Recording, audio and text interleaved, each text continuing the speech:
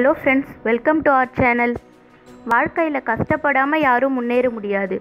ஒருவேளை கஷ்டப்படாமல் முன்னேறினாலும் அந்த வெற்றி அவங்களுக்கு சொந்தமில்லைன்னு தான் சொல்லணும். இதற்கு உதாரணமாக நிறைய பேரை சொல்லலாம். வெறும் நூற்றம்பது ரூபாய் மாத சம்பளத்துக்கு தன் வாழ்க்கையை தொடங்கி இன்னைக்கு பல கோடி ரூபாய் மதிப்புள்ள ஹோட்டல்களுக்கு சொந்தக்காரரான பிரேம் கணபதியோட வெற்றி கதையை பற்றி தான் இந்த வீடியோவில் நம்ம பார்க்க போகிறோம் தமிழ்நாட்டில் உள்ள தூத்துக்குடி மாவட்டத்தில் பிறந்த இவர் தன்னோட குடும்ப வறுமை காரணமாக ப்ளஸ் டூக்கு மேலே படிக்க முடியல. படிப்பை நிறுத்திட்டு கிடைச்ச சின்ன வேலையை செய்ய ஆரம்பித்தார் சென்னைக்கு போனால் இன்னும் கொஞ்சம் நிறைய சம்பாதிக்கலாம். அப்பா அம்மா கூட பிறந்த ஏழு பேரையும் காப்பாற்றலான்னு முடிவெடுத்து சென்னைக்கு போகிறாரு அங்கே அவருக்கு இரநூத்தம்பது ரூபாய் மாத சம்பளத்துக்கு வேலை கிடைக்குது. முடிஞ்ச அளவுக்கு பணத்தை சேமித்து வீட்டுக்கு மாதம் மாதம் அனுப்புகிறாரு ஆனால் அந்த காசில் அவரோட குடும்ப கஷ்டத்தை முழுமையாக தீர்க்க முடியல. அப்போது அவருக்கு வயசு பதினேழு. மும்பைக்கு வந்தால் மாதம் ஆயிரத்தி இரநூறுபா சம்பளத்துக்கு வேலை வாங்கி தர்றதா ஒருத்தர் சொன்னதை நம்பி இவரும் மும்பைக்கு கிளம்பி போகிறாரு ஆனால் அந்த நபர் இவருக்கு வேலை வாங்கி கொடுக்காம பிரேம் கணபதி கிட்ட இருந்த இரநூறு ரூபாயும் திருடிக்கிட்டு போயிடுறாரு. மும்பையில் பாந்திராங்கிற சிட்டியில் ஒரு ரூபாய் கூட இல்லாமல் மொழியும் தெரியாமல் வாழ்க்கை ரொம்பவே கஷ்டமாக அமைஞ்சுது. இந்த மாதிரி கஷ்டத்தில் இருந்த நிறைய பேருக்கு எப்படியாவது மும்பையை விட்டு ஊருக்கு திரும்பி போயிடணும்னு மட்டும்தான் தோணும்.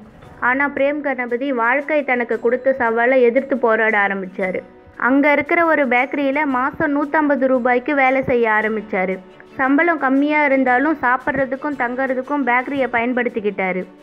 இது மட்டும் இல்லாமல் வாய்ப்பு கிடைக்கிறப்பெல்லாம் ஹோட்டலில் சர்வர் வேலை செஞ்சுக்கிட்டு இருந்தார். தன்னோட சொந்த தொழிலுக்கு போதுமான பணத்தை சேமித்ததுக்கப்புறம் ஒரு தள்ளுவண்டி கடையில் இட்லி தோசை கடை ஆரம்பிக்கலான்னு முடிவு செஞ்சார். ஆயிரத்தி தொள்ளாயிரத்தி தொண்ணூற்றி ரெண்டில் ஆயிரம் ரூபாய்க்கு ஸ்டவ் மற்றும் உபயோகப் பொருட்களை வாங்கினார்.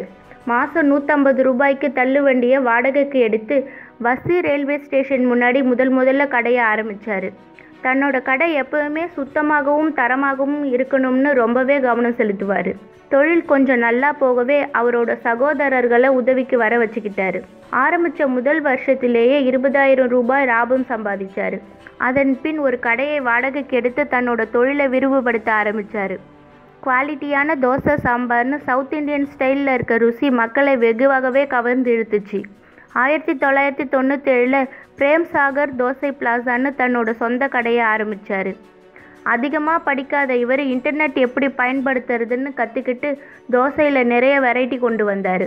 இருபத்தாறு தோசை வெரைட்டி ஆரம்பித்து இப்போ கிட்டத்தட்ட நூற்றி அஞ்சு தோசை வெரைட்டி கொடுக்குறாங்க.